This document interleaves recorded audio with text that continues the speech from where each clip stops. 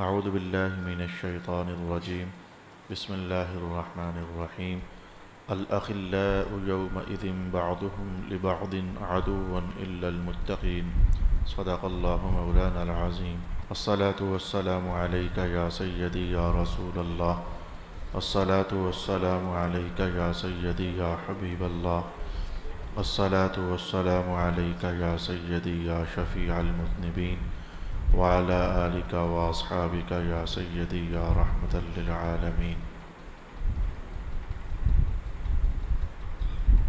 उस दिन गहरे दोस्त एक दूसरे के दुश्मन होंगे सिवाय मुत्तकीन के रब्बुल आलमीन का फ़ज़ल और उसका करम आज हम सूरत ज़ुख़रफ़ की एक मरूफ़ ज़माना आयत शरीफ़ा जिसको 25 सिपारों तक सफ़र तय करने में हमने कई बार ज़ेर मुताला किया। मैंने कई बार आपकी खिदमत में सुनाई। आपने कई बार वो आयत करीमा मुझसे सुनी, जिसका तर्जमा मैं अभी अभी कहकर आपकी खिदमत में फ़ारग हुआ हूँ कि रब कायनत ने हम जो मुसलमान आपस में दुनिया में रहते हुए एक दूसरे के दोस्त बनते हैं तो दोस्त बनने और बनाने के हवाले से एक बहुत बड़ा हवाला इरशाद किया है कि दुनिया में रहते हुए जितने भी दोस्त हैं क़यामत का दिन होगा तो इनकी दोस्तियाँ सिमट जाएँगी। सिमट नहीं जाएँगी बल्कि ख़त्म हो जाएँगी और दुश्मनियों में तब्दील हो जाएँगी। यानी सिर्फ़ ये नहीं कहा कुरान हकीम ने कि दोस्तियाँ ख़त्म हो जाएँगी। सिर्फ़ ख़त्म हो जाना भी होता तो ये दर्जा और है। कहा कि ख़त्म होने के बाद आपस में दुश्मनियों में तब्दील हो जाएँगी। एक दूसरे से नफ़रत होगी, एक दूसरे से भागना होगा, एक दूसरे से जान छुड़ाना होगा। हाँ जो तकवादार लोग हैं, उनकी दोस्तियाँ बाकी रहने वाली हैं। गुजशत नशिस्त में मेरे दिल में यह शौक़ भी था, अल्लाह की तरफ़ से तलब भी थी कि अमिल अल्लाह करीम, ये आयत मैंने अपने दोस्तों को कई बार सुनाई है, तर्जमा भी कई बार सुनाया है। मेरी रगबत यह थी कि अल्लाह ताला मुझे इस पर अच्छा मुताला करने की तोफ़ी अता फ़रमाए। मुझे एक की दो हदीसें मिलें, दो की चार मिलें, चार की आठ मिलें। मुझे आयात बैनात नसीब हों, जिसके अंदर हम ये बात सीखें कि दुनिया में रहते हुए अच्छे दोस्त बनाने चाहिए, अच्छे दोस्तों की दोस्ती, तकवादार दोस्तों की दोस्ती दुनिया में तो फ़ायदेमंद होती ही होती है। बिलफ़र्ज़ अगर ना भी हो तो क़्यामत के मैदान में और क़्यामत के दिन ये दोस्ती ज़रूर काम आने वाली है। इस सिलसिले में पहले तो मैं चाहूँगा कि हम कुछ आयात बजीनात को देखें कि क़्यामत वाले दिन हमारी ताल्लुकदारियाँ, उनका हाल क्या होगा। आप मुझे सोच कर अपने ही आप में जवाब दे लें, क्योंकि मैं जानता हूँ कि इंसान की सबसे ज़्यादा मोहब्बत उसकी माँ से होती है। इंसान की सबसे ज़्यादा मोहब्बत उसके बाप से होती है। बाप और माँ से आगे निकल जाओ तो बहन भाइयों से मोहब्बत होती है। और आगे निकल जाओ, अगले ज़मानों में चले जाओ, बीवी के साथ मोहब्बत होती है।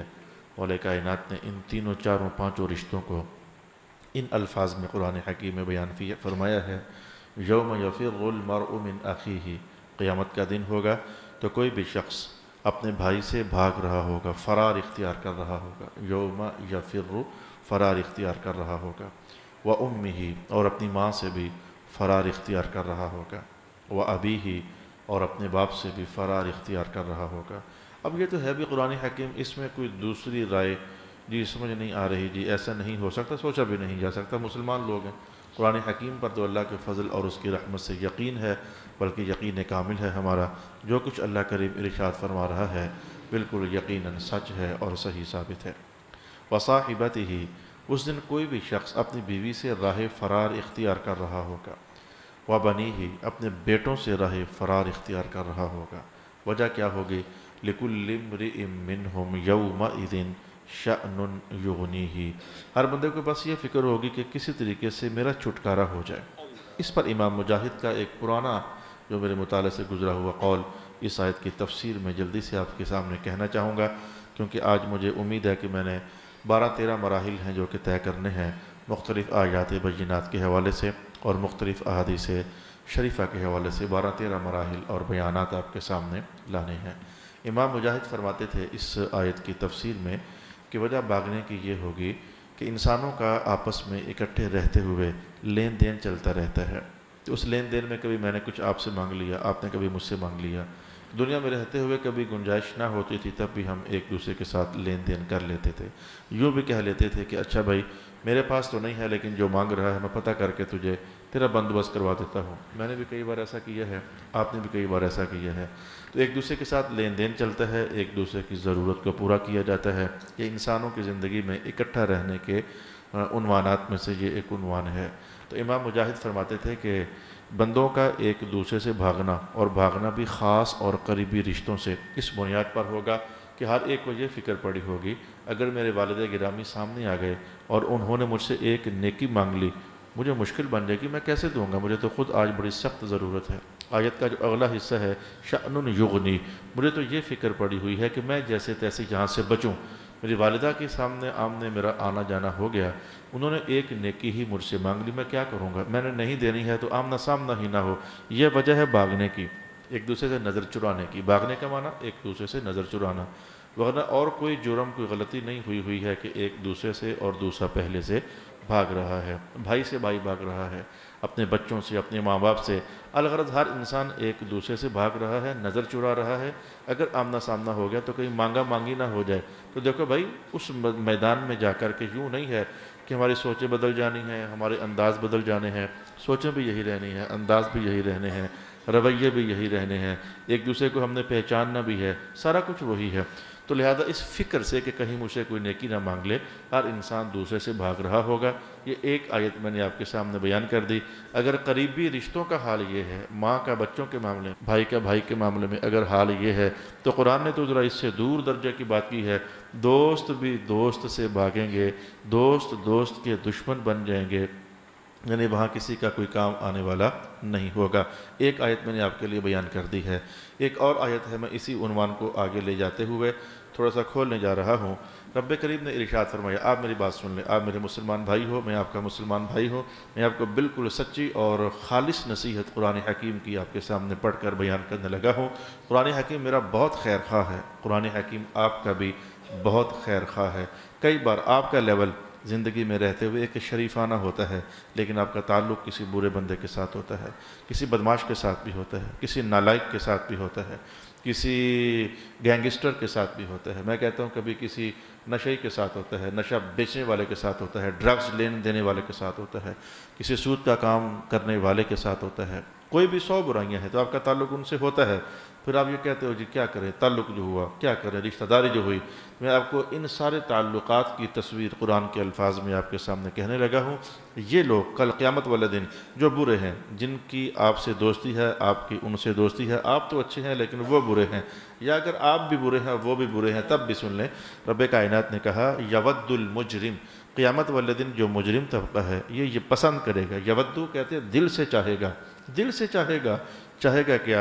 लो यफ्तदी मिन आदाब यौम इदिन बिबनी ही एकाश काश के ए अल्लाह करीम, मेरे बेटे ले ले और आज मुझे छोड़ दे।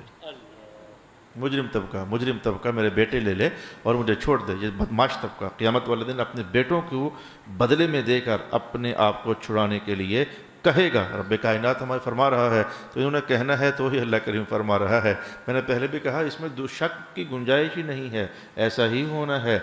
अच्छा फिर क्या कहेगा? वसा की बात ही, ए अल्लाह करीम, मेरी बीवी ले ले, बदले में मुझे छोड़ दे, मुझे दो में ना डालना। मिन आदाबी यौम दिन आज के दिन के अजाब से मुझे बचा रहे मेरी बीवी लेते हैं तो ले ले। वह आखी ही मौला मेरे भाई ले ले, मुझे छोड़ दे, मैं अजाब में मुबतला नहीं होना चाहता। व फसीलती हिलती तो भी ही है मेरे अल्लाह करीम, मेरे, मेरा वो ख़ानदान ले ले, मेरा वो सारा ख़ानदान ले ले। जुमला गौर के साथ सुनना, मैंने पहले भी कहा तो वजह लगाना चाहता हूँ।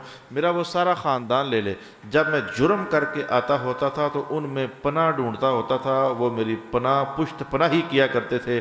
उनकी वजह से मैं बच जाता होता था। वो सारा ले ले। लेकिन मुझे छोड़ दे। ऐसे ख़ानदान होते हैं। मैं कहता हूँ जो जो छोटा मोटा केस हो जाए तो चाचा फ़ोन खड़का देता है, ताया फ़ोन खड़का देता भाई साहब, अब बच्चा ज़रा गलती हो गई है। अच्छी, खासी गलती होती है, लेकिन बच्चा है, ज़रा गलती हो गई है।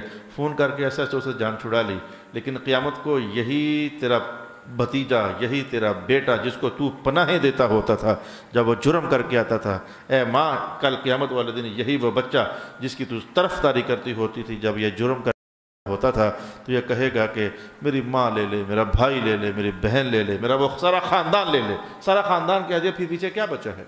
व फसीलती हिल्लती तो भी ही मेरा सारा ख़ानदान ले ले, मेरे अल्लाह लेकिन मुझे अजाब में मुबतला ना कर। बल्कि रब कायनात ने यहाँ कहा, व मन फिल अरुदी जमी जो कुछ भी ज़मीन में मेरा है, मैं सारा देने के लिए तैयार हूँ। मेरा ले ले सब कुछ मेरे अल्लाह, लेकिन मुझे अजाब में मुबतला ना कर। रब कायनात ने कहा, कल्ला, ऐसा तो नहीं हो सकता। कल्ला, ऐसा नहीं हो सकता है। इन लजा आग भड़क कर रहेगी। कुरान का बयान सख्त है। इन लजा आज आग भड़क कर रहेगी। नज़ातुल्लिशवा और चमड़ियों को भून कर रहेगी। चमड़ियों को खाल उधेड़ देगी आज आग। तुम्हारी जिसकी तस्वीर रसूल पाक ने यूँ इरशाद फरमाई थी। कुरान पाक ने तो यूँ कहा था, कुल्लमा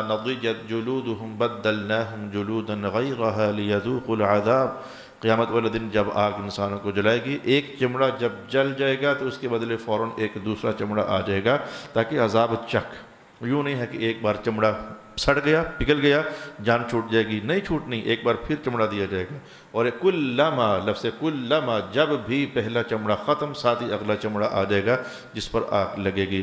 कुरान हकीम ने यह कहा, और इसकी तस्वीर में रसूल पाक सलाम ने फरमाया कि जैसे मोमबत्ती जलती है तो पिघल पिघल कर नीचे आती है तो पाइंती की जगह जमा होती रहती है तो इंसानों का गोश्त और चमड़ा जब दोजक की आग उन्हें साड़ेगी, पिघल पिघल कर इनकी पिंडलियों पर जमा होता रहेगा। जैसे कि मोमबत्ती की मिसाल रसूल पाक सल्लल्लाहु अलैहि वसल्लम ने इरशाद फरमाई, यहाँ तक ख़तरनाक उनवान था कुरान हकीम की दो आयात बैनात मैंने आपके सामने पेश की हैं। माँ भी हुई तो मैं कहता हूँ दूसरी आयत के अंदर जो है, वो तो ये है कि सारा ले ले, मुझे भागना और शय है, और फिर ऑफ़र करना अल्लाह करीम को अल्लाह, मेरा बाप, मेरा भाई, मेरी बहन, मेरा सारा खानदा ले ले, और मुझे आज के दिन अजाब में मुबतला न कर।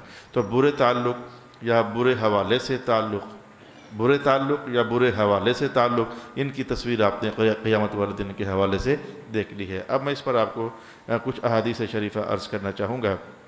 उम्मीद है कि आज हमारा उनवान इस बात को बहुत खोल कर रख देगा कि हम जायज़ा लेने पर बहुत सोचें कि हमें किस तरह का ताल्लुक़ बनाना चाहिए और किस तरह के ताल्लुक़ से हाथ खींचना चाहिए। आज जब नशिश से हम जब उठेंगे तो दुनिया की मफादात की खातिर ताल्लुक़ बहुत सारे गलत लोगों से भी हम बना लेते हैं। बहुत से गलत लोगों से भी। दो टोक मुसलमान तो कम होते हैं, जिनकी दोस्ती अल्लाह की मोहब्बत की खातिर होती है। किसी वजूद में अल्लाह की मोहब्बत की खुशबू महसूस होती है तो वह कह देते हैं, मैं तो इससे मोहब्बत करता हूँ। और अगर किसी वजूद में अल्लाह की मोहब्बत की खुशबू महसूस नहीं होती, वो जान छुड़ा के रखते हैं, वो नज़र चुरा के रखते हैं। कहते हैं, कल जो ये हमसे नज़र चुराएगा, हम आज इससे नज़र चुरा के रखते हैं। ताल्लुक बनाते ही नहीं हैं। जनाब हज़रत अलीमरतज़ा इस बात की तरफ़ इशारा करते होते थे, कामयाब इंसान वो है जिसके दोस्त कम होते हैं। माना यही था कि दोस्त देखो तो सही, किसको बना रहे हो? कामयाब इंसान वो होता है जो दोस्त जिसके कम से कम होते हैं। कल क़्यामत वाले दिन यह वाक़ात सामने ना आए। अब मैं तसलसल के साथ आपको बारह हदीसों तो कम अज़ कम ज़रूर सुनाना चाहता हूँ। फिर अल्लाह करीब मैं सुनाऊँगा मुख्तसर ही, क्योंकि मुझे पता है जब हदीसों की तदाद ज़्यादा हो जाती है तो फिर मजमून जुमला ही डिलीवर करना होता है। फिर उसकी मज़ीद तशरीहत कहने से उनवान बहुत ज़्यादा हाथ से निकल जाता है और फैल जाता है। एक हदीस तो मैं, जो कि गुजशत जुमातुलमबारक को बड़ी दिलचस्पियों के साथ सुनाई थी, बड़ी आठ दिनों के इंतज़ार के बाद सुनाई थी। आज मैं सरनामे के अंदर वही हदीस आपकी खिदमत में अर्ज़ करना चाहता हूँ। सुबह अल्लाह, हालाँकि आठ दिन हो गए हैं, मैंने पिछले जुमे को सुनाई थी और मज़ीद आठ दिन पीछे चले जाओ तो मैंने पढ़ी थी और अभी भी सुनाने लगा हूँ, तबीयत खुश हो रही है। अल्लाह करीम ने हजूर की ज़बान अकदस से ऐसा मीठा कलाम जारी फरमाया, आज मैं पंद्रह बीस दिन के बाद पढ़ने जा रहा हूँ, लेकिन तबीयत में फिर एक खुशी है और एक राहत है। हदीस के अल्फाज क्या हैं?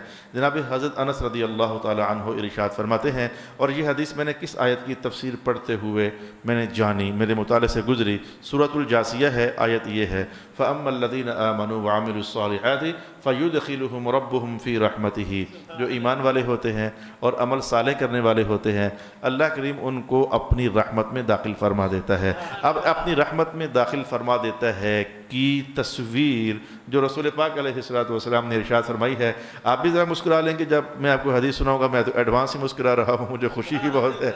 सरकार दो आलम फरमाते हैं कि क़ियामत वाले दिन अल्लाह ताला नेक लोगों को इकट्ठा करेगा और ये ये जितने भी मुसलमान हैं और काफिर हैं, क़ियामत वाले दिन इनकी गुरोबंदी होनी है।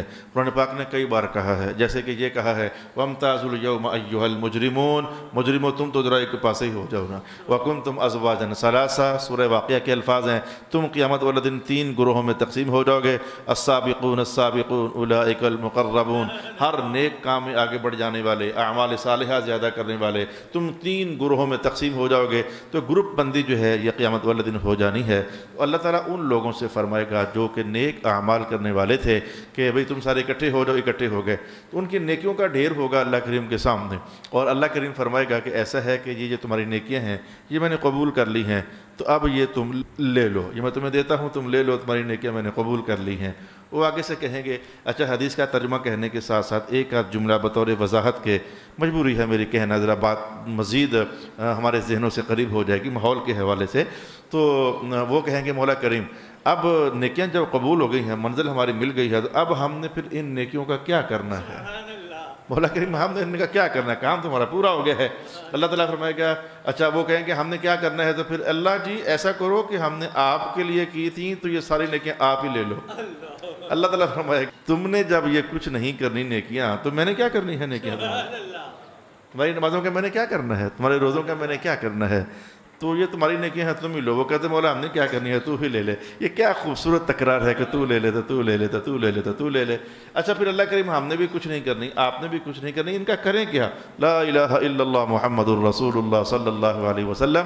अल्लाह करीम फरमाएगा, तुम्हारा काम तो हो गया है ना? ऐसा करो कि मैदान हशर में और अभी बहुत सारे गुनागार बाकी हैं इन नेकियाँ पकड़ो जाकर उनमें बांट दो, मैं उनको भी माफ़ फरमा देता हूँ। अल्लाह अकबर अल्लाह अकबर अल्लाह अकबर। उनको जाकर दे दो, मैं उनको माफ़ कर देता हूँ। इस पर फिर रसूल पाक अलैहिस्सलाम फरमाते वो लोग उठेंगे, अपनी नेकियाँ लेकर उठेंगे मैदान हशर में गुनागारों को तकसीम करने के लिए, लेकिन हर एक को नहीं देंगे। हमारा उनवान ये है, जो आयत के साथ जुड़ता है, आखिरी जुमला जो है, ये हमारे उनवान को तकवीत देता है और सपोर्ट देता है।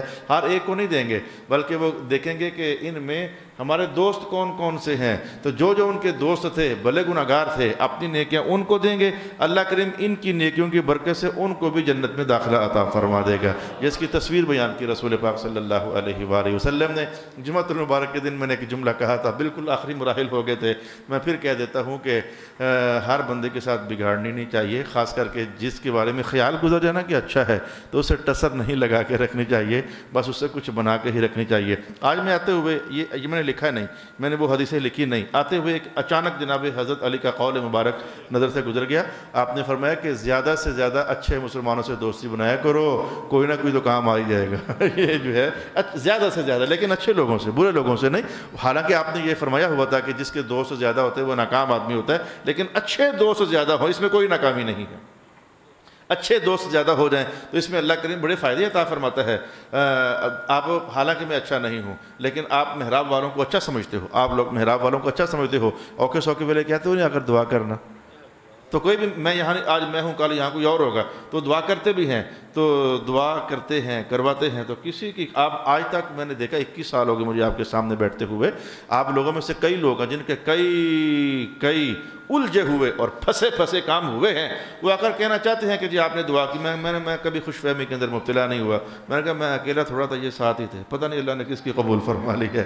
मैंने कभी उनके इस जुमले को सुनने के बाद अपने आप को शक में नहीं डाला कि मैं कम अज़ कम दाता साहब तो बनी गया हूँ। कभी मुझे इस तरह का शक नहीं पड़ा और मैं कम अज़ कम ताजदार गोड़ा तो बनी गया हूँ। बड़ा मकाम हो गया है मेरा। कभी इस तरह की गलत तरबियत अल्लाह के फजल करम से मज़बूत हाथों से हुई है।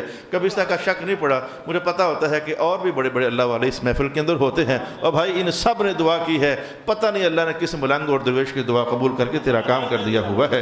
अच्छा जी, एक हदीस की मुकम्मल करने के बाद मैं आपके सामने हदीस नंबर दो अर्ज़ करना चाह रहा हूँ। सल्लल्लाहु अलैहि मोहम्मद वसल्लम। आज मैं जब हदीसें तलाश कर रहा था तो कुछ अर्सा पहले की बात है जो अब हदीस में कहने वाला हूँ ना। मैं सोच रहा था कि अगर मुझे, मुझसे किसी ने पूछ लिया ये हदीस है कहाँ? मैं उसे क्या बताऊँगा कहाँ है? क्योंकि बड़े पुराने दौर से मुताले से गुजरी हुई थी। अगर किसी ने पूछ लिया, मैं क्या बताऊँगा? तो ए काश मुझे दोबारा कहीं पढ़नी नसीब हो जाए, मैं इसको ज़रा महफूज कर लूँ। तो आज जब मैं ढूंढा, ढूंढी कर रहा था तो अल्लाह करीब ने वो हदीस मेरे सामने कर दी। ये ये पड़ी हुई है, इसका बंदोबस्त कर ले। तो अब मैंने वो महफूज कर ली है, अब रिकॉर्डिंग के अंदर भी वैसे महफूज हो रही है।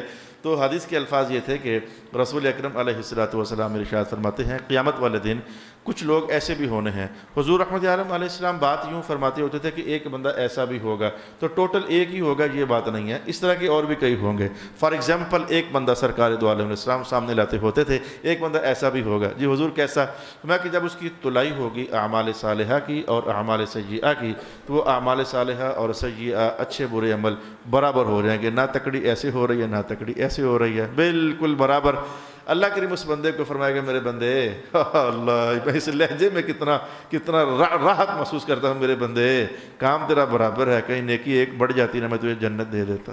ला एक नेकी सिर्फ़ तेरी कहीं बढ़ जाती ना मैं तुझे जन्नत दे देता। तो पता कर ले अगर कोई देता है तो? अगर पता कर ले, अगर कोई देता है तो मैदान हशर में। एन मैं कहता हूँ कि एग्जामिनर भी कहाँ इतनी ऑफ़र देता होगा? तो तो फेल हो रहा है, कोई सवाल पता कर कर के लिख ले। मैं तुझे, कौन कौन ऑफ़र देता होगा? ख़ास करके जब रिज़ल्ट डे हो, उस दिन कौन ऑफ़र देता है? कहीं से एक आधा नंबर मांग कर ले, या? मैं कहता हूँ, क़्यामत के दिन जबकि रिज़ल्ट आउट हो रहा है सबका तो अल्लाह करीम काम तेरा बराबर हो गया। एक नेकी कहीं बढ़ जाए ना तेरी। मैं तुझे जन्नत दे देता हूँ। तो जा पता करके आपको देता है। तो फिर अल्लाह करीम उसके दिल में जो ख्याल डालेगा, माँ के पास भाई के पास, रिश्तेदारों के पास तो कुरान ने पहले कह दिया भैया वो तो पहले ही भाग रहे होंगे। अल्फाज याद आ गए कुरान पाक के? मैंने पहली पहली आयत ही आपको ये सुनाई है। वो तो पहले जान छुड़ा रहे होंगे, कोई ना ही नज़र आए अपना, कोई ना ही नज़र आए जानने वाला। अगर नेकी मांग ली तो क्या होगा? अब हदीस और कुरान जुड़ रहे हैं तो इमाम मुजाहिद ने जो कहा, तफसीर के अंदर मैंने जो आपकी खिदमत में बयान किया था समझ आ रही है कि मुफसरीन कुरान की तफसीर हदीस से बोल देते हैं, कभी कुरान की तफसीर कुरान ही से बोल देते हैं। तो जा पता करके आ, कहीं से अगर एक नेकी मिल जाती है, एक नेकी की तलाश के लिए बंदा, जिस जिस के हवाले से अल्लाह तला दिल में डालता है, भाई चचा ताया, मामा, जो भी जो भी जा पता कर गया कहीं से उसको एक नेकी नहीं मिलती। लौट कर आ जाता है अल्लाह करीम, कोई नेकी एक भी देने के लिए तैयार नहीं है। फिर अल्लाह करीम उसके दिल में ख्याल डालता है कि कोई कोई दोस्तों में से तलाश कर ले। कोई दोस्तों में से तलाश कर ले जो तुझे एक नेकी आज दे दे। हजूर फरमाते हैं, फिर उसके दिल में एक अच्छे दोस्त का ख्याल आएगा। अच्छे दोस्त का मान आपको समझ आ रही है, मैं काफ़ी देर से लगा हुआ हूँ। अब आपको इतना भी पता नहीं है कि अच्छा दोस्त कौन सा होता है। अच्छा दोस्त तकवादार होता है अच्छा दोस्त दीनदार होता है अच्छा दोस्त इतात गुजार होता है। इससे बढ़कर और अच्छा दोस्त कोई नहीं हो सकता है। तो एक अच्छे दोस्त का ख्याल उसके दिल में डाला जाएगा। वो उसके पास जाकर कहेगा, भाई, एक नेकी मेरी रुकी हुई है। अल्लाह करीम फरमा रहा है कि, एक नेकी ले आ, मैं तुझे पास कर देता हूँ। तुझे तेरा निज़ाम जन्नत की तरफ़ कर देता हूँ। तो वो आगे से कहता है, यार, मेरा पता कोई नहीं है। मैं उधर वाला हूँ या उधर वाला हूँ? तेरा अगर एक नेकी से बनता है, तू तो ये ले ना एक नेकी, तू तो जा ना जन्नत में। वो एक नेकी लाकर पड़े में डाल दी जाती है। तो अल्लाह करीम फिर उसके दोस्त को मुखातब करते हुए कहता है, तेरी अदा अच्छी लगी है वैसे। इसके मैंने हिसाब किया था, फिर माफ़ किया था। एक ने कि तुझसे मांग कर लाया, हिसाब हुआ है इसका। अदा तेरी अच्छी लग गई है, तुझे हम बगैर हिसाब के माफ़ फरमा देते हैं। अल्लाह ताला है। तो नेक लोगों की दोस्ती। कुरान पाक में इस आयत इस आयत में अब पढ़ने लगा हूँ आपके सामने। अब मैं एक बार फिर आपके सामने पढ़ने लगा हूँ। मकसद पूरा होता नज़र आ रहा है। रब कायनात ने इरशाद फरमाया अल्लाम इदिन बादिन आदुबन आज के गहरे दोस्त खलील कहते हैं, गहरे दोस्त को, जिगरी दोस्त को गर्मा गर्म दोस्त को जो मिलते हैं तो ज़ोर से हाथ पर हाथ मारते हैं, छाती ज़ोर से टकराते हैं और एक दूसरे को पकड़ कर घूम भी जाता है। जो ऐसी गर्म जोशियाँ होती हैं तो ऐसे दोस्तों को खलील के साथ ताबीर किया जाता है। मैं कि जो आज के गहरे दोस्त हैं, क़ियामत वाले दिन दुश्मन बन जाएँगे। सिवाय तकवादारों के, ये आज भी दोस्त हैं, उधर भी दोस्त ही होंगे। मेरा उनवान तफसीर पूरा हो गया। अब अगर मैं इसके बाद मज़ीद कुछ ना भी कहूँ तो आयत का उनवान खुल चुका है, लेकिन जो हदीसें आज मुझे मैसर हुई हैं, मैं ज़रूर चाहूँगा कि आपकी खिदमत में बयान करूँ, जिसमें आपको बार बार बार बार ये एहसास बेदार करने की कोशिश की जाएगी कि कांटा छांटी कर लो, आज वक्त है। कांटा छांटी कर लो। जैसे कभी घर में सफ़ाई हुई करते हो दो चार साल के बाद तो कुछ कबाड़ का माल निकाल कर फेंकते हो ना? बल्कि कुछ जो सही होता है घर रख लेते हो, जो बिकने के लायक होता है कबाड़ में बेच देते हो और कुछ बगैर कबाड़ के वैसे फेंक देते हो। घर की सफ़ाई करते हो ना? ऐसे अपने अंदर के इंसान के घर की सफ़ाई करते हुए देख लो कि किस तरह का बंदा मुझे दोस्ती में रखना है और किस तरह का बंदा मुझे दोस्ती के दायरे से निकाल देना है। आइए इस मकसद के लिए मैं आपके लिए एक और हदीस के अल्फाज पढ़ने जा रहा हूँ। रसूल अक्रम वसल्लम ने इरशाद फरमाया, क़यामत वाले दिन सात तरह के लोग हैं जिन्हें अल्लाह अर्श के साय में जगह नसीब फरमाएगा। मैं कई बार ये हदीस पढ़ी कभी कभी पूरी सुनाता हूँ, आम तौर पर दरमियान में जहाँ कहीं मुझे एक आध जुमले की ज़रूरत होती है, वो एक आध जुमला सुनाकर मैं चला जाता हूँ, मेरी आदत कुछ ऐसी ही वाक़ हुई वक्त बचाने के लिए। तो आज मेरा दिल में था कि आज मैं जब ये हदीस कहने जा रहा हूँ, हालाँकि है मेरा इसमें एक ही जुमला मेरे मतलब का, जो उनवान से ताल्लुक़ रखता है। मेरे दिल में है कि आज मैं ये सारी हदीस कहूँगा।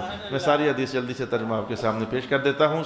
क़्यामत वाले दिन इन इन इन इन लोगों को अल्लाह ताला अर्श के साय के तले जगह नसीब फरमाएगा।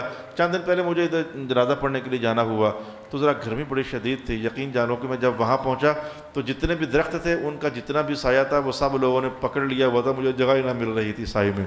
और मैंने निकाब पहना हुआ था मैं क्या ठीक है? ओपरा बंदा ही ठीक है। चल बोलिया उथे चलिए, जिथे सारे होवन अन्य। ना कोई तेरी ज़ात पछाने, ना कोई तेनू मन्ने। तो मैंने कहा, मैं किसी से साया मांगूँगा नहीं। मैं धूप में खड़ा हो गया। तकलीफ़ काफ़ी थी हालाँकि। तो मैं जब जब मैत आई तो मुझे चंद लहजों के लिए साय से गुजरना हुआ। मैंने कहा, शुक्र है। तो गर्मी शदीद हो तो साया मिल जाए। सुबह अल्लाह हमद ही सुबह अल्लाह अज़ीम और फिर क़यामत की गर्मी? ऐसे माहौल में ये ऐलान, वो सात तरह के लोग गर्मी में क्या कर रहे हो? आओ मैं तुम्हें अर्श के साय तले जगह आता फरमाता एहसास से करीब होकर बंदा बात करे ना तो ज़रा बात का समझना आसान हो जाता है। तो मैं उनका नाम लेता हूँ। जनाब अबू हुरैरा फरमाते हैं कि हुजूर ने फरमाया था, वो बादशाह वक्त जो अदल के साथ बादशाहत कर गया। कभी शायद आपको नज़र नहीं आया। मैं भी इंतज़ार में हूँ कि अल्लाह करे कभी ऐसा हो जाए, कोई बादशाह वक्त हो इमाम आदिल जो अदल के साथ अपने लोगों को संभाले।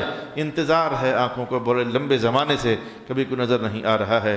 फिर हजूर फरमाते हैं, हा हा हा ये सुनो ये सुनो, प्यारे नौजवानों, ये सुनो, वो जवान जो जवानी की दहलीज पर पहुँचा तो हालत तकवा में पहुँचा। माँ अच्छी थी, मुसल्ला बिछाती थी, बाप अच्छा था, सुबह उठाता था कुरान खोलने की तरगी में चलती थी दरुदोसलाम की मजालस होती थी, सच बोलने के उनवानात कायम होते थे। बुराई बाहर क्या अंधेरा है, बच्चों इससे बचना है। ये तरबियती उनवानात खुलते थे घर में। माँ थी अच्छी बाप था अच्छा। मस्जिद के माहौल में उस्ताद भी अच्छा मिल गया। मैं कहता हूँ कि जिसका बचपन से लेकर जवानी तक यूँ हुआ कि तकवे पर तकवा, नेकी पर नेकी, सालहियत पर सालहियत, जवानी की बालिग हुआ, दहलीज पर रखड़ा हुआ तो हजूर फरमाते हालत तकवा में वो जवानी की दहलीज पर पहुँचा। अल्लाह इसकी जवानी की इस हालत पर इतना खुश है और जवान इधर आज तुझे गर्म नहीं होने दूँगा, आज अर्श के साय तेरे तुझे जगह आता फरमाऊँगा। ये नौजवान हमारे ही बच्चे होते हैं, जो कल के बच्चे होते हैं, फिर जवान हो जाते हैं। ख्वाहिश इस अच्छे नतीजे की सबकी होती है, लेकिन इस ख्वाहिश तक पहुँचने के लिए सात साल पर मसल्ला बिछाया था घर में आपने? बच्चे को फजर के टाइम उठाया था आपने? एक नौजवान खेतों के अंदर पैदा नहीं होता, पाक नौजवान।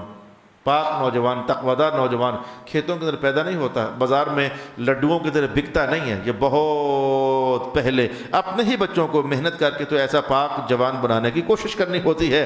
क्या बेटी को खड़ा किया था इतने तब तो आपने ये वक्त ये कहते हुए गुजार दिया, बच्चा है खेल कूद का ज़माना है, बड़ा होगा तो समझ जाएगा। नहीं समझता जो बचपन में नहीं समझ सकता बड़ा होकर, अल्लाह फजल करे तो मामला ठीक हो जाता है, वगैरह मुखालफत हो चुकी है रसूलुल्लाह की, नाफरमानी हो चुकी है रसूलुल्लाह की, संभलना ज़रा मुश्किल हो जाता है। सल्लल्लाहु अलैहि वसल्लम चौथा बंदा हजूर फरमाते हैं कि रजुलकल्बिल फिल मस्जिद। बंदा जहाँ भी हो, लेकिन दिल उसका मस्जिद में लटक रहा होता है। मैंने भी ज़ोर पढ़ने जाना है, मैंने भी असर पढ़ने जाना है। मैं तो सफ़े भी सीधी करता हूँ, मैं जा रहा हूँ मैं सफ़े सीधी करनी है। कितने बाबे मस्जिद में ऐसे आ जाते हैं, यार, मैं अजान पढ़नी है। तो अजान पढ़ने के बहाने आकर बैठे रहते हैं। तो सरकार फरमाते हैं, जो जहाँ भी हों, दिल मस्जिद में हो ना उनका, अल्लाह उनको अर्श के साय क़्यामत वाले दिन जगह नसीब फरमाने वाला होता है। फिर सरकार द्वारा, ये है हमारा उनवान, जिसकी खातिर मैंने यह हदीस पढ़ी। हजूर फरमाते हैं कि अल्लाह की मोहब्बत की खातिर किसी से मोहब्बत करना। वही जुमला जो मैंने काफ़ी देर पहले कहा था, इस वजूद से अल्लाह की इतात की खुशबू आ रही है। इस जिसम से अल्लाह की मोहब्बत की महक सूंघी जा रही है। ये चूँकि अल्लाह से करीब है, मैं इससे करीब होना चाहता हूँ। मैं इसलिए इससे करीब होना चाहता हूँ, जिसकी मोहब्बत की बुनियाद ये होगी। तो मैं कहता हूँ कि अल्लाह ताला उसको फरमा, उसको अल्लाह अर्श के साय तले जगह नसीब फरमाएगा। और मेरा दिल ललचा रहा है कि यहीं रुक करके इसी उनवान की अगली हदीस बता दूँ। लेकिन मैं लालच को जरा रोकने लगा हूँ। यह हदीस पूरी तो कर लूँ, फिर साथ ही मैंने वो हदीस कहनी है कि सुबहान अल्लाह वबहमद सुबहान अल्लाह अजीम। ये कलिमात मेरी तरफ़ से बेकरारी का इजहार होते हैं। या मैं जल्दी पहुँचूँ वहाँ। ये कलिमात मैं तब पढ़ता हूँ, जब बेकरारी का इजहार हो रहा होता है। सुबहान अल्लाह वबहमदी सुबहान अल्लाह अजीम। फिर अगला बंदा सरकार द्वारा में फरमाते हैं कि जिसे कभी किसी खूबसूरत औरत ने खुद गुनाह की दावत दी। खूबसूरत भी थी, साहिब मनसब भी थी, कोई उस पर पकड़ दकड़ नहीं कर सकता था। उसने खुद गुनाह की दावत दी। उसने कहा कि मैं अल्लाह से डरता हूँ, मैं ये काम नहीं कर सकता हूँ। अल्लाह इसी अदा पर इतना खुश हो जाता है, अर्श का साया उसके लिए तैयार कर दिया जाता है। फिर अगला बंदा सरकार द्वारम ने फरमाया कि जो सदका देते हैं और मख्फी तौर पर सदका देते हैं, दाएँ हाथ को पता नहीं होता, बाएँ ने क्या दिया, बाएँ को पता नहीं होता, दाएँ ने क्या दिया। और अल्लाह के फजल से मैंने ऐसे लोग इस मस्जिद की तमीर में ख़ास करके देखे हैं। उन्होंने मुझसे यह अहद लिया था कि हमारा कोई बताना नहीं है। सामने बैठे होते हैं। मैं कहता, जीत गए हैं वो। अगर बता भी देता तो उनको क्या मिल जाना था? लेकिन उनका हमारा बताना नहीं है। मेरे सामने बैठे होते, किसी को राज उनको नहीं बताया। मैं कहता हूँ, जब अल्लाह ताला तुम्हारी इस अदा पर तुम्हें वो अर्श का साया देना चाहता जो है, मैं बताकर क्यों उन दरमियान में दखल अंदाजी करूँ? नहीं बताता। तो मुझे अल्लाह ने ऐसे बंदे देखने नसीब किए। और हर दौर में अच्छे बंदे बाहर क्या होते हैं? कोई दौर ऐसा नहीं होता कि अच्छे बंदे बिल्कुल ज़ीरो हो जाए, डेड ग्राफ हो जाए, उनका कभी ऐसा नहीं होता। तो फरमाया कि जो लोग सदका देते हैं, लेकिन अल्लाह की मोहब्बत में दाएँ को पता नहीं बाएँ ने क्या दिया, बाएँ को पता नहीं दाएँ को क्या दिया, दाएँ ने क्या दिया तो इन लोगों को भी अल्लाह अर्श का साया अता फरमाएगा। और सातवां बंदा सुबहान अल्लाह जिसको हजूर यूँ फरमाते होते थे, कभी बिल्कुल तनहा होकर बैठा करो, कोई तुम्हारे पास नहीं है।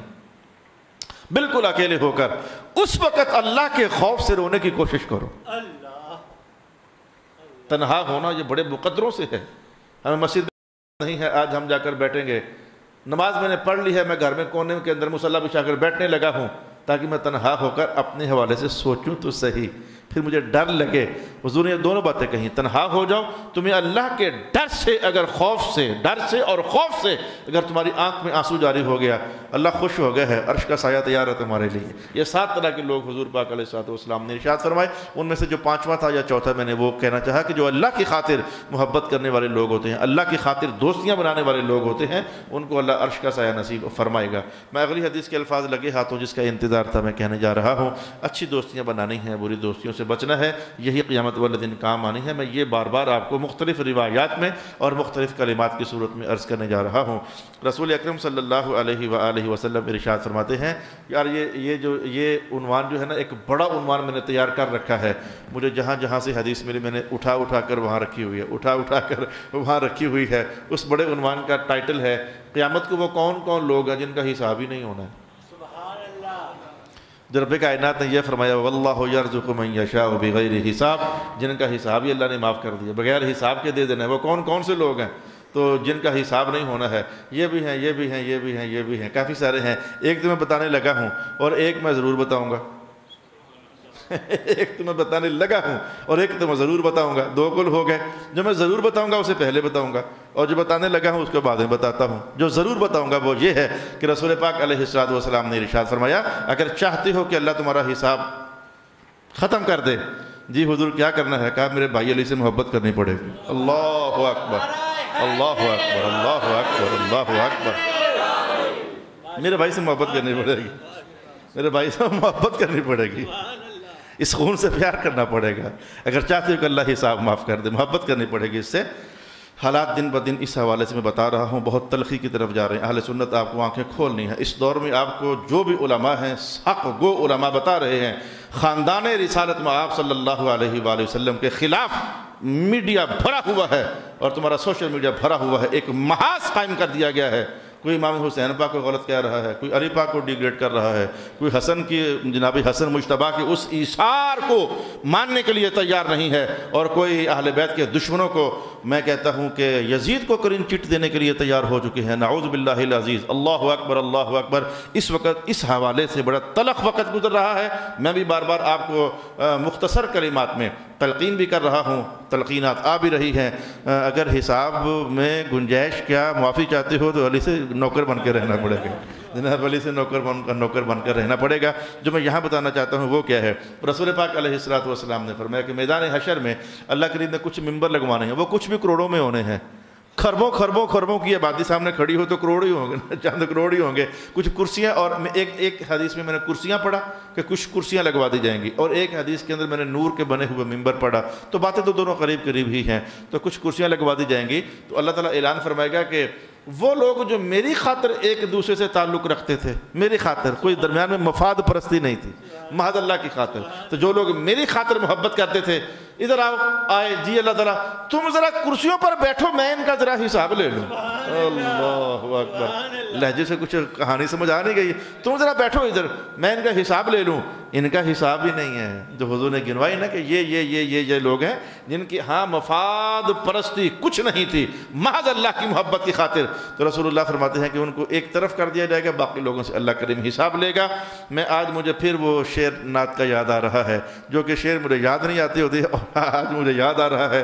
वो जिसने भी कहा है, पुराने पंद्रह, बीस साल पुरानी नात लेकिन जिसने भी कहा है, हो सकता है कि उसने ये हदीसें और आयतें सामने रख कर कहा होगा कि चंगियाँ चंगियाँ, नाल, लालो, यारियाँ, मुश्किल आसान हो संसारियाँ। ये सरवर्दी साहब भी पढ़ा करते थे तो मुश्किल तो आसान तो होंगी तो लिहाजा रसूल पाक अलैहिस्सलाम ने इरशाद फरमाया कि इनको बगैर हिसाब के जन्नत में भिजवा दिया जाएगा और नूर के मेम्बरों पर इनको बिठा दिया जाएगा। लेकिन देख लो कि ताल्लुक हैं किस बुनियाद पर? अल्लाह की मोहब्बत की खातिर हैं या दुनिया कैश करने के लिए हैं?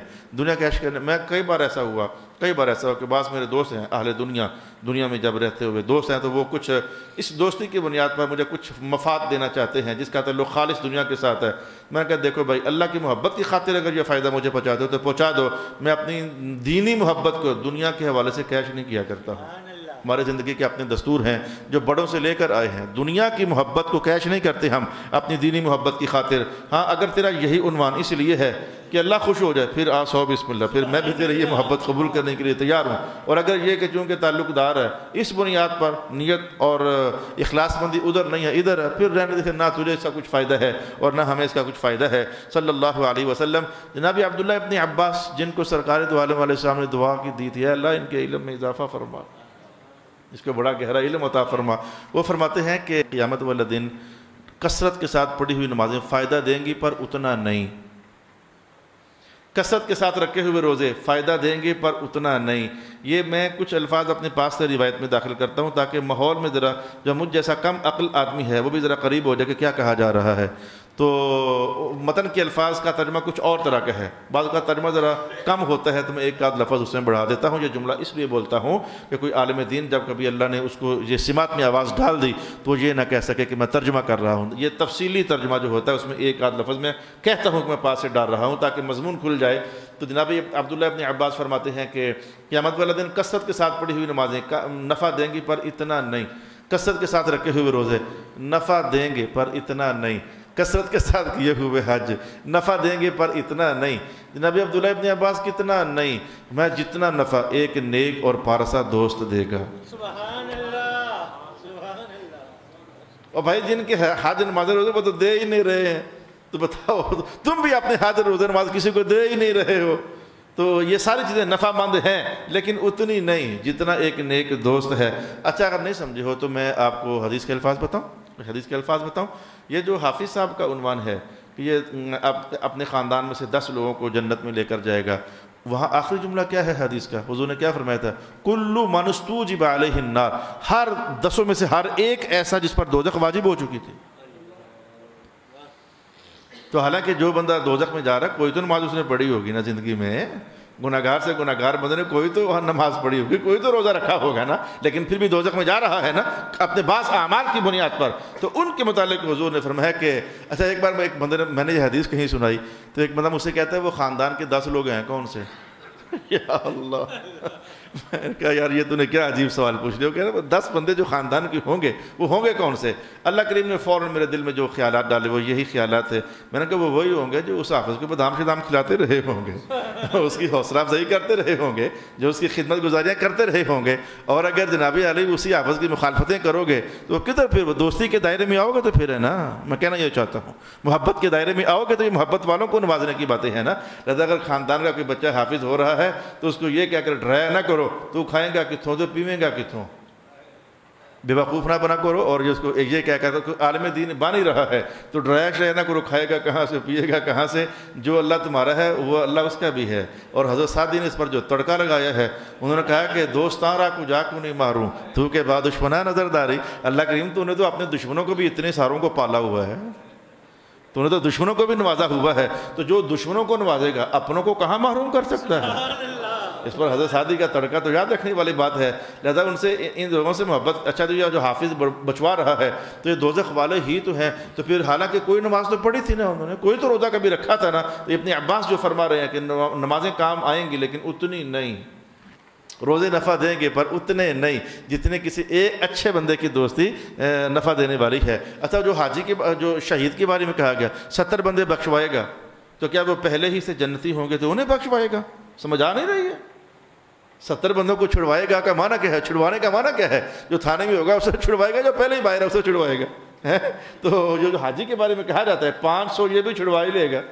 तो जो दोजख वाले होंगे, उन्हें छिड़वाना है या पहले जन्नत में जाके पहुँचे हुए उन्हें छिड़वाना है। और मैं आज एक डॉक्टर साहब मेरे पास तशरीफ़ लाए हुए थे। उनका बेटा हाफिज़ बन गया। डॉक्टर होकर उनका बेटा हाफिज़ बन गया। और अब आलिम बन रहा है। दुआ करते हैं कि अल्लाह करीम उनके बेटे को मंजिल मज़बूत रहे और अच्छा आलिम बनाए। मदद नसीब हो उसको। तो उसका बेटा आलिम, मैंने उसको ये हदीस बताई। आ गया कहीं। अच्छा आया वैसे अल्लाह की मोहब्बत में था। कहने लगा मुझे शक है कि आप मुझसे नाराज़ हैं, मैं आपको मनाने आया हूँ। और मैं कहा, भाई, मैं नहीं नाराज़ हूँ। मेरा तरह अल्लाह के लिए प्यार है। और मफाद वाला प्यार हो तो मफाद ना मिले, नाराज़गी फिर होती है। मेरा तेरा अल्लाह की मोहब्बत के लिए प्यार है तो किधर ऐसे ही तू सोच रहा है, भाई मेरे, कि मैं नाराज़ हूँ, मैं नाराज़ नहीं हूँ। मैं मोहब्बत, तेरे साथ मेरी मोहब्बत है, अल्लाह के लिए मोहब्बत है मेरी। तो उसके मैंने यह हदीस पाक बताई। जो भी आपको बताने लगा हूँ, जनाबी अपने अब्बास के कौल मुबारक की वजाहत में कि नमाज़ें काम आएँगी पर उतना नहीं। अब ये ना समझना कि नमाज़ें काम नहीं आएँगी। मैंने ये बिल्कुल नहीं कहा, मैंने कहा आएँगी पर उतना नहीं।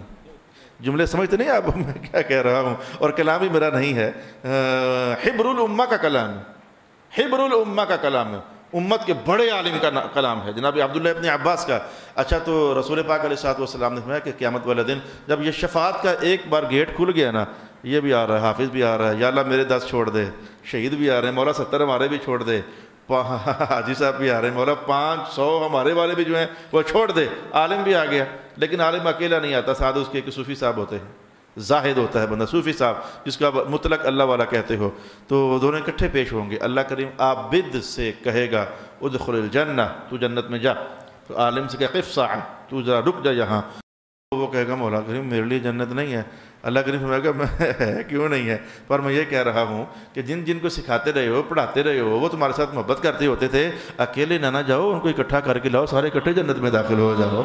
अब ये मना समझा रहा है आपको कि अच्छा ताल्लुक, नमाजें मुफीद हैं पर उतनी नहीं।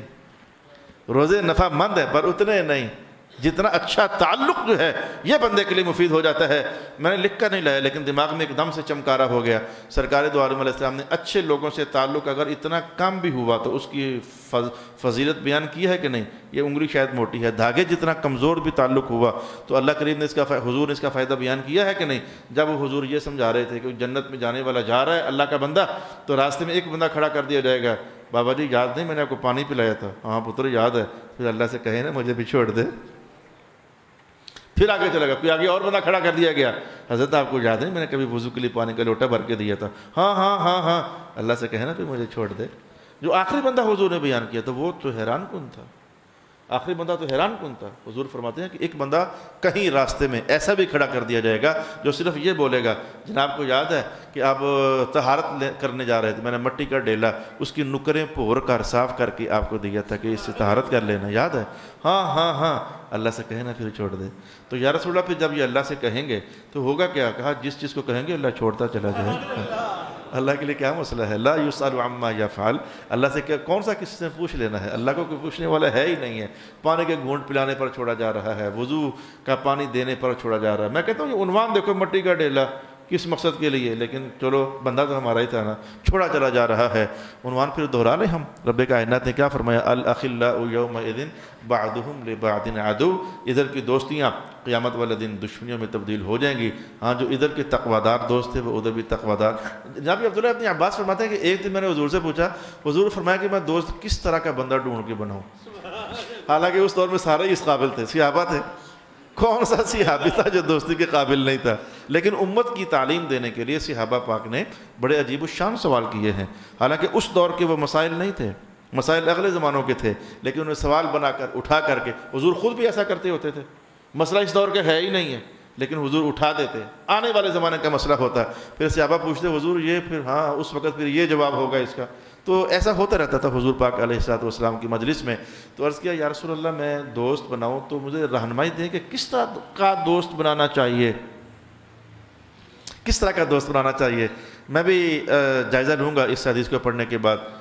कि मेरे हल्के में क्या कुछ है? आप ही जायज़ा ले लेना, अच्छी चीज़ है। क्या कुछ है आपके हल्के में?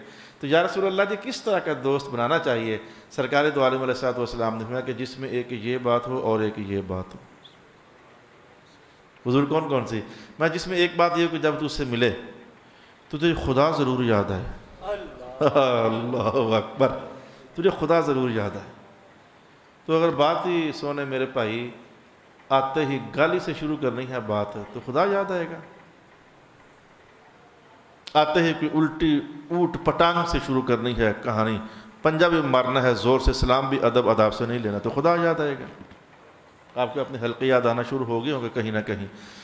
तो रसूल पाक सलाम ने कहा कि एक तो उस तरह के बंदे को दोस्त बनाना कि जिसको देखकर खुदा याद आए। जी हुजूर, दूसरी बात। हाँ हाँ हाँ हाँ आप हुजूर ने फरमाया कि जो तुम्हारे इल्म में इजाफा करे।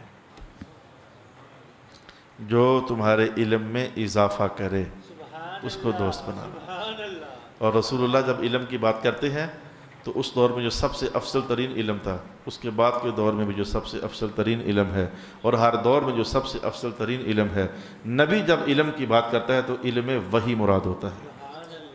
जो अल्लाह की तरफ़ से नाजिल करदा इल्म होता है, वो इल्म मुराद होता है।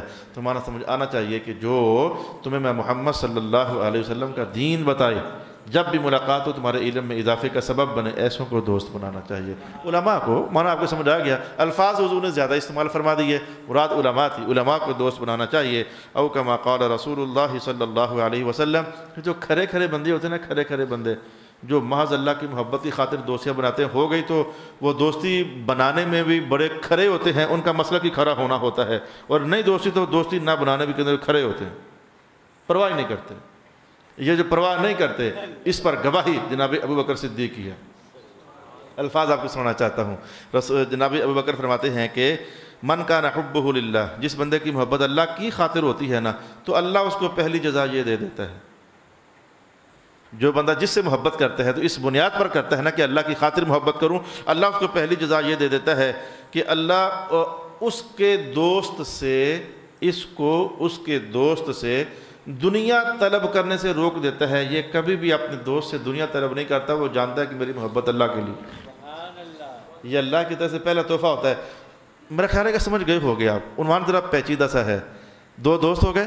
तो अगर तो अल्लाह के लिए मोहब्बत है तो हर एक दोस्त कभी भी अपने दोस्त से दुनिया का मुतालबा करता ही नहीं। वो कहता है, मेरा मामला अल्लाह की खातिर है। मैं क्यों इससे दुनिया मांग कर इसको भी आजमाइश में डालूँ और ख़ुद भी आजमाइश में डालूँ? इसलिए हमारे जो पीर मुर्शिदा उनके जो पीर मुर्शिदा उन्होंने किबला शादी को नसीहत की कि जो जाकिर लोग होते हैं, इनके साथ कर्ज़ का लेन देन नहीं करना चाहिए। जाकिर लोग, सालिक लोग होते हैं, इनसे कर्ज़ का लेन देन नहीं करना चाहिए, रूहानियत तबाह हो जाती है। माना यही था कि इंसान है, कभी ऊँच नीच हो जाती है। या तो बंदा लोहे की तरह पुख्ता हो, जो बोला है, वही मुराद है। तो फिर तो सुबह अल्लाह लेकिन आमतौर पर इंसान अच्छे से अच्छे इंसान वादा टूट जाता है, आगे पीछे हो जाता है। अच्छा तो जनाबी अबू बकर फरमाते हैं कि जिस बंदे की दोस्ती अल्लाह के लिए होती है तो अल्लाह उसको पहला इनाम ये देता है कि अपने दोस्त से दुनिया का मुतालबा करने से उसको रोक देता है। दो एक बात और दूसरा इनाम उसको ये देता है कि जो अहले दुनिया होते हैं जिनकी नज़र में पैसा पैसा पैसा दौलत दौलत दौलत मनसब मनसब मनसब इलेक्शन इलेक्शन जो भी दुनिया के उनवानात हैं तो अल्लाह ताला उस बंदे के दिल में उनके मुतालिक वहशत पैदा कर देता है। वो कभी तवज्जो ही नहीं करता कि मेरे पास से बादशाह गुजरा है कि वज़ीर गुजरा। जब वो ऐसे लोगों को देखता है उसको वहशत होती है नफरत होती है वो दामन बचाकर उधर से निकल जाता है। मैं इसका नया मुलाकात ही नहीं करता मैं इसके साथ। मुझे शाह साहब का एक जुबानी का लतीफ़ा याद आता है। फजर के बाद आप वाक किया करते तो एक जनरल साहब, हाजिर सर्विस जनरल, उस वक्त वो उधर से आते तो शायद इधर से जाते होते थे। एक दिन उस हाजिर सर्विस जनरल ने देखा, ये मौलवी साहब तवज्जो नहीं करते हैं। तो वो जानकर सड़क क्रॉस करके इधर आ गया शायद उधर चले गए। वो फिर उधर चला गया, वो फिर इधर आ गए। उसने दूर से आवाज़ किया मिस्टर रियाज। वो ये जनरल ऐसे ही बोलते हैं ना, मिस्टर रियाज, क्या बात है, आप हमसे मुलाकात नहीं करना चाहते कहते, मुझे आपकी मोहब्बत का शौक ही नहीं है। क्या करूँ मजबूर हूँ? मुझे आपसे मोहब्बत का शौक ही नहीं है। मुझे आपके मतलब की तलब भी पैदा नहीं होती है। तो ऐसे को पास बैठ बैठ कर हम भी कुछ ऐसे ही हो गए। ऐसे बड़े बुज़ुर्गों के पास बैठ बैठ करके ये मनसब वाले लोग ये दौलतो शौलतो ये चक्कर क्यों नहीं तवज्जो क्यों नहीं होती? वहशत पैदा होती है और ये किसने कहा जनाब? अबू बकर सिद्दीक ने। कोई टूटा सा बंदा हो कुर्ता उसका साइड से उधड़ा हुआ है टोपी मैली है लेकिन अंदर से दिल रोशन है। दिल करता मुलाकात करें इसके साथ। और करता भी हूँ। करता भी हूँ। दिल करता है मुलाकात करूँ उसके जाता भी उसको साथ। उसकी तवज्जो उधर भी हो। ओ भाई, किधर हो? इधर देख, मैं आया हुआ हूँ, कहता भी हूँ। लेकिन अगर कोई ज़बरदस्ती प्रोटोकॉल मांगे तो उसको हम बस ठीक है, जैसा करते हैं, वैसा ही करते हैं। ज़बरदस्ती हमसे कोई इज़्ज़त नहीं बटोर सकता, बटोर नहीं सकता। अल्लाह ने भी इज़्ज़त देने के दस्तूर रखे हुए हैं। अल्लाह के फजल करम से बंदे छोटे से हैं, लेकिन छोटा बंदा भी तो कानून से रह ही सकता है ना। छोटा बंदा भी तो आदाब ज़िंदगी सीख ही सकता है ना। मुझे मालिक बिन दिनार का कौल भी मुझे कहीं से मिल गया। जो जो मिला है समेट लाया हूँ। जो जो मिला है समेट लाया हूँ। हज़रत मालिक बिन दिनार क्या करते थे? जनाब मालिक बिन दिनार कहा करते थे? अब बदों की रोटी खाने से बेहतर है कि नेक लोगों के साथ मिलकर पत्थर उठा लो। ये बदों फासकों की रोटी में कुछ भी नहीं है। बदों फासकों की रोटी के अंदर कुछ भी नहीं है।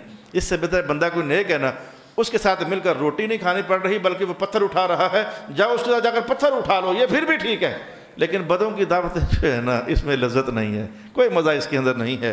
अलैहि हबीब ही मोहम्मदिन वाला व ही अजमाइन रसूल अक्रम फरमाते हैं कि एक बंदा अच्छा खासा जन्नत में जा पहुँचा।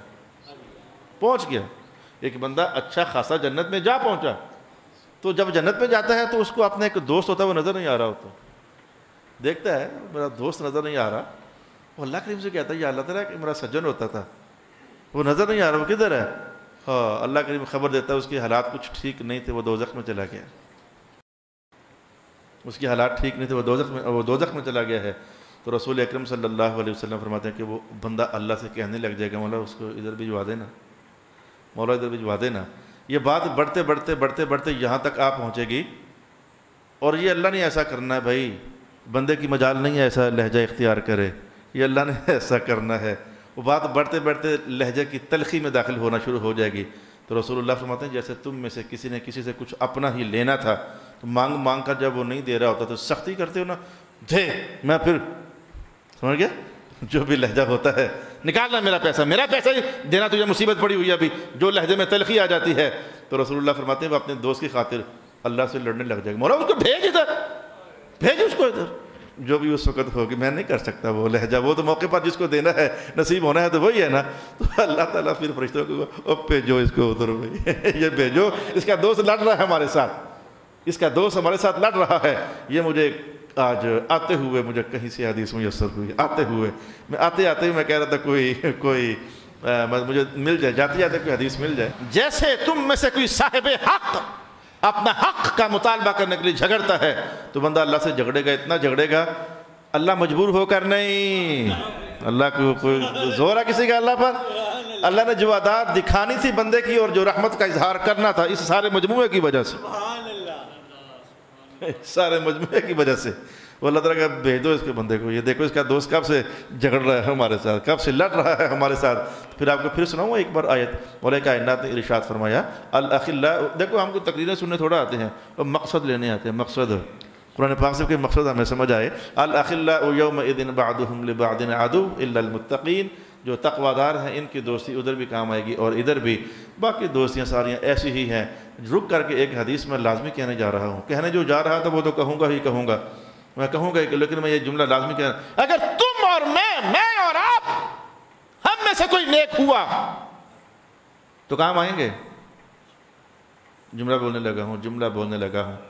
सरकारी दोम के दौर में एक जुमला बोल दिया गया था तो हजूर जलाल में आ गए थे। मिंबर बिछाकर आपने फरमाया था, अगर तुम्हारे ताल्लुकात काम आ सकते हैं तो मैं मोहम्मद का ताल्लुक काम नहीं आएगा। मेरा खून तुम्हारे काम नहीं आएगा। मेरा हसब काम नहीं आएगा मेरा नसब काम नहीं आएगा। अगर छोटे छोटे बंदों के ताल्लुक काम आने हैं तो मैं तो सैदुलम्बिया जिससे मेरे साथ बना के रखी होगी हजूर से बना के रखनी चाहिए। और हजूर के बच्चों से भी बना के रखनी चाहिए। हजूर के ख़ानदान वालों से बना के रख वो मौलवी पागल है। मुझे यह कहने में कोई गुनाह नहीं हुआ। मौलवी पागल है जो इस तरह का जुमला बोल रहा है आज कल कि मोहम्मद पाक की आल ख़त्म हो चुकी है। पागल है बेचारा। जितना मर्ज़ी बड़ा मुहक्क हो और ये जज्बाती जुमला नहीं, सरकार दो के सैकड़ों फरामीन को फरामोश करता फिर रहा है, सरेआम दंदनाता फिर रहा है कि हजूर की हाल ख़त्म हो चुकी है। कुरान ने कहा था, इन नशा ने कहे अल्लाह ख़त्म होना तो दुश्मनों का काम है, हजूर के हजूर ख़त्म होने के लिए थोड़े आए हैं। हजूर इस तरह का ऐलान करें कि, हजूर रहमत आलम इस तरह का ऐलान फरमाए कि मैं जा रहा हूँ दुनिया से तो दो चीज़ें छोड़कर जा रहा हूँ, दोनों का बड़ा वज़न है। एक कुरान है और एक आल मोहम्मद है। ये क़्यामत की सुबह तक कभी आपस में जुदा हो ही नहीं सकते। हैं क़्यामत भी क़्यामत की सुबह तक कुरान भी और आल मोहम्मद भी तो वो मौली साहब वो कह रहा है कि आल मोहम्मद ही नहीं है। तो ये मुझे जुमला मजबूरी बनी हुई है बोलना। इतनी को हाजिर तो हमारी लगे ना। हजूर हम तो नहीं हम तो नौकर थे। हम हजूर ऐसे महक्कों को देखते भी नहीं होते थे। हम तो आपके आल के नौकर थे। हजूर हम तो नहीं है ना वो। तो ये आपको समझना चाहिए। तो लिहाजा रसूल पाक वसलम का मेरा ताल्लुक फिर काम नहीं आएगा, लोग आज कैसी बातें कर रहे हैं? हुजूर के दौर के अंदर भी मुनाफिकीन लगे रहते थे, शरारतें करते रहते थे, मुनाफिकीन लगे रहते थे, शरारतें करते रहते होते थे। असलात वसलाम या सैद या रसूल वसाबी का या हबीबल्ला दुनिया अब थोड़ी थोड़ी ज़िंदियाँ रह गई हैं, और वैसे भी वो दवाना जिसके अंदर बंदे को तलब होती है, दौलत की, ताल्लुकात की वो मेरा भी गुजर चुका है। मेरा भी गुजर चुका है। जब बंदा आखिरी आखिरी ज़िंदगी में दाखिल हो रहा होता फिर उसको ताल्लुकात हों भी तो परवाह नहीं होती। तो चंद दिन पहले मुझे इत्तेफाक हुआ। हर साल सावन बरसता है तो खूब नहीं बरसता। तो ख़त्म भी तो होता है ना। कौन सा सावन है जो बारह महीने चले? किसी बंदे ने बहुत तकलीफ़ दी है आल रसूल को। शाह साहब ने जुमला बोला है, ताज़ा ताज़ा। और मुझे कहने में कोई हरज नहीं है, कोई हरज नहीं है। ना मेरे पास कोई मनसब है कि छिन जाने का डर, ना कोई करोड़ों की दौलत है कि लुट जाने का डर। आपने कहा कि जैसे हर सावन सिमटता है ना, आल मोहम्मद के दुश्मनों का सावन भी सिमटने वाला है। ज़्यादा दूर नहीं है। असल यजीद जब ना बचा तो उसकी हिमायती कहाँ बचेंगे? आप आँखें खोल के जियो, आप मेरे पास आते हो। हम सिहाबा के भी नौकर हैं। आल रसूल के भी नौकर हैं। चाचा भी अपना होता है, अब्बा भी अपना होता है, पर चाचा कभी अब्बे जैसा नहीं हो सकता। कि बंदा अपने अब्बे की ज़्यादा फेवर करे तो माना यह नहीं होता कि चाचे को हमियत नहीं देता। मकाम है चाचे का, वो चाचा होने के नाते है। पड़ोसियों की भी इज़्ज़त होती है, पर माँ जैसी थोड़ी होती है। कुछ लोगों को शौक चढ़ा हुआ है आजकल कि जिन लोगों की तरफ़ से हजूर की आल को सताया गया, उनको उठाकर मुसल्ला इमामत पर खड़े करें और आल रसूल को उठाकर पिछली सफ़ में खड़ा करें। यह शौक चढ़ा हुआ है आजकल, लेकिन ये सावन सिमटने वाला है। सावन के बाद होता वैसे ख़जाई है। अल्लाह अकबर। सावन की बात होती वैसे ख़जाई है। अलैहि हबीब ही मोहम्मद आलि वासहाबी अजमाइन। शुक्र अलहमदिल्ला क़ियामत को हमने ऐसे मौलियों को मुँह नहीं दिखाना। सर क़ियामत को सरकार के सामने हाजिरियाँ होनी हैं। सरकार के सामने पेशियाँ होनी हैं। हम मौलियों से पूछा तो जाना है, और तुमने भी कुछ ज़ुबान हिलाई थी कि नहीं हिलाई थी? तो अल्हम्दुलिल्लाह, जो हो सकता है ज़ुबान हिलाते रहते हैं। अल्लाह अकबर अल्लाह अकबर तो मैंने आखिरी आखिरी हदीस आपके सामने ये अल्फाज पढ़े कि रसूल अक्रम वसलाम ने इरशाद फरमाया कि वो जन्नत में जाकर भी शोर डाल रहा होगा, मेरा मेरा वो दोस्त किधर है, मेरा वो दोस्त किधर है तो बात तलखी में चली जाएगी। तलखी वाली हदीस आज नहीं पढ़ना नसीब हुई, ये पुराने दौर में कहीं और अचानक यहाँ मस्जिद में बैठ कर चमकार अल्लाह पाक ने नसीब किया। आज मुझे इतनी हदीस थी, वो आप, अपने दोस्त के मुतालिक पूछेगा तो अल्लाह ताला भिजवा देगा, लेकिन मैंने पढ़ा कि वो मुसलसल कहेगा अल्लाह करीम से, जैसे तुमसे कोई साहिब हक अपने हक के लिए उससे झगड़ रहा होता है तो अल्लाह से इसरार कर रहा होगा। बस मैं ये कहता हूँ, अल्लाह से इसरार कर रहा होगा कि अल्लाह करीम मेरे उस दोस्त को मेरे साथ जन्नत में भिजवा दे। असलात वसलाम का या सैद या रसूल अल्लाह व आल का वसहाबी का या हबीब अल्लाह आखिरी हदीस में अब कहने लगा हूँ। और वो हदीस मौला हैदर की हदीस है। तो अब कहने लगा हूँ तो अब तो मेरा ख्याल है कि आपको खुशी भी हो रही होगी कि अख्तामिया गुफ्तु का मौला हैदर के बयान पर हो रहा है। और इस बात पर भी खुशी हो रही है आखिरी हदीस छुट्टी होने वाली है। दुर्र मंसूर है मेरे हाथ में, इमाम जलालुद्दीन सयूती की। और ये लफ्ज़ आपके लिए कम अज़ कम नया नहीं है।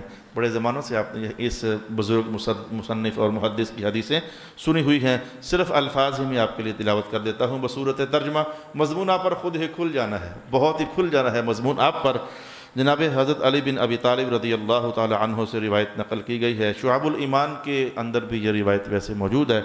तो नकल की गई है कि आप फरमाते हैं कि दो दोस्त मोमिन हैं और दो दोस्त काफिर हैं। दोनों के नतज सुन लो। दो दोस्त मोमिन हैं और दो दोस्त काफिर हैं। दोनों में से एक मर जाता है, पहले मोमिनों की कहानी शुरू होने लगी है। दोनों में से एक मर जाता है, उसे जन्नत की बशारत दे दी जाती है। वो मोमिन अपने दोस्त को याद करता है। ये वो जुमला था जिसकी बुनियाद पर यह हदीस हमारे उनवान का हिस्सा बने। और इमाम जलालुद्दीन सयूद्दीन बेकायदा नकल फरमाई अल्लाउदिन के तहत इमाम जलालुद्दीन सयूद्दीन ने बाकायदा इस हदीस को नकल फरमाया। तो जब वो एक मोमिन मर जाता है तो जन्नत में दाखिल हो जाता है तो अपने मोमिन दोस्त को याद करता है और अर्ज़ करता है कि, ए अल्लाह, मेरा मुखलिस दोस्त मुझे तेरी इतात और तेरे रसूल की इतात का हुक्म देता होता था, वो इधर है नहीं। मुझे बुराई का हुक्म देता होता था और मुझे बुराई से रोकता होता था और मुझे बताता होता था कि मुझे तुझसे मुलाकात करनी है, अल्लाह करीम, वो तेरी मुलाकात मुझे याद कराता होता था ए अल्लाह, मेरे बाद उसे गुमराह ना करना। ये मर गया है, मरे मरे भी अपने ज़िंदा दोस्त के लिए अल्लाह की हुजूर दुआ कर रहा है, ये है, ये अच्छे अच्छे ताल्लुकात। और, रसूल पाक अलैहिस्सलाम इसकी बुनियाद कायम करके गए हैं। ये जो उनवान चल रहा है इसकी बुनियाद हुजूर कायम करके गए हैं। दरमियान में हदीस जोड़ने लगा हूँ रसूल पाक अलैहिस्सलाम ने फरमाया नहीं था मेरी ज़िंदगी भी तुम्हारे लिए बेहतर है मेरी मौत भी तुम्हारे लिए बेहतर है। मौत इसलिए बेहतर है कि जब तुम्हारे अमाल मेरे सामने पेश किए जाएँगे तो मैं जब अच्छे अमाल तुम्हारे देखूँगा तो अल्लाह का शुक्र अदा करूँगा। जब तुम्हारे बुरे अमाल मैं देखूँगा तो मैं दुआ करूँगा ए अल्लाह इससे गलती होगी इसे माफ़ फरमा दें। तुमने क्या मरने के बाद नेकों के लिए दुआ करनी है? वो तुम्हारे लिए दुआ कर रहे हैं। अजीब बात नहीं होगी। करनी है वैसे हमें हमें करनी है। लेकिन वो तुम्हारे लिए दुआ कर रहे हैं। अल्लाह ताला, मेरे बाद उसे गुमराह ना कर देना। यहाँ तक कि तू उसे भी वो चीज़ दिखा दे जो तूने मुझे दिखाई है। यानी उसे भी जन्नत तक ले आ। और यहाँ तक कि तू उस पर भी ऐसे ही राज़ी हो जा जैसे तू मुझ पर राज़ी हुआ है। फिर ऐसे कहने वाले दोस्त को जवाब क्या दिया जाएगा? अल्लाह की तरफ़ से उसे कहा जाएगा कि अगर तू जानता जो उसके लिए मेरे पास है, जो तेरा दोस्त था ना ऐसा, अगर तू जानता ना कि मैंने उसके लिए क्या तैयार कर रखा है, तेरा हासा ही निकल जाता। अल्लाह अकबर अल्लाह अकबर। तू रोना छोड़ देता कि मेरे दोस्त का क्या बनेगा? तेरा रोना खत्म। तू हंसने लग जाता अच्छा जी, अल्लाह करीम, तूने उसे भी नमाज़ रखा है? वो तेरा अच्छा दोस्त था ना? तो मैंने कर रखी है। फिर जब वो दूसरा आदमी जो इधर होता है, दोस्त उसका, पहले वो फौत हो गया ना, फिर जब बाद वाला, जनाब अली फरमाते हैं, जब वो फौत होता है तो अल्लाह ताला इन दोनों की रूहों को फिर जन्नत में इकट्ठा फरमा देता है। वो इधर से तलब करता रहा, मौला किधर है, उसको भेजना, उसको, मौला सही रहे वो ताकि हम फिर इधर इकट्ठे रहें। इसके लिए खैर की दुआ करते हैं, कहीं बाद में गुमराह ना हो जाए, वरना कहीं वो उधर, मैं इधर, नहीं, मौला वो सही रहे। उस पर राज़ी रहना तू। जनाब अली फरमाते हैं कि इन दोनों को अल्लाह ताला इकट्ठा फरमा देगा और फिर उनसे कहा जाएगा, ले भाई, ये पंजाबी का लहजा और ले भाई, एक दूसरे दिन शाना बयान करो। अकबर। ये तजमा है हदीस का, चूँकि मुझे बालकत पंजाबी लहजे की लजत आती है। और ले भाई तू, तूने जो इसको अच्छा कहना कह ले और तू भी इसको जो अच्छा कहना कह ले। तो रसूलुल्लाह फरमाते हैं वो दोनों एक दूसरे के सामने बैठ कर ना एक दूसरे की तारीफ़ें कर रहे तू बड़ा अच्छा था और तू ही तो बड़ा नमाजी था यार तेरी तिलावत बड़ी प्यारी होती होती थी और मैं तो जनाब अली तेरी सखावत का दिल दादा था। वो अच्छी अच्छी खूबियाँ ये क्या मंजरनामा है? वो एक दूसरे की अच्छी अच्छी खूबियाँ जो हैं बयान कर रहे होंगे। बस मेरा अनुमान यहीं पूरा होता है रिवायत बाकी आदि है लेकिन वो दो, दो काफिर दोस्तों के लिए।